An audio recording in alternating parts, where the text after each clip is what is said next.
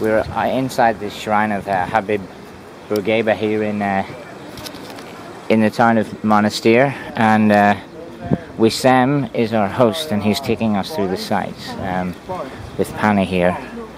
There were a few other tourists around, and we have been inside the building, which is a shrine to him, which was the first leader of uh, Tunisia when it became independent from France.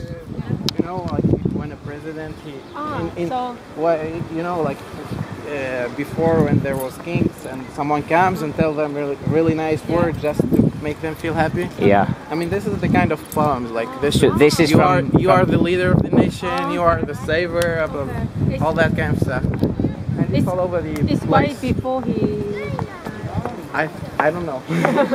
I really don't know.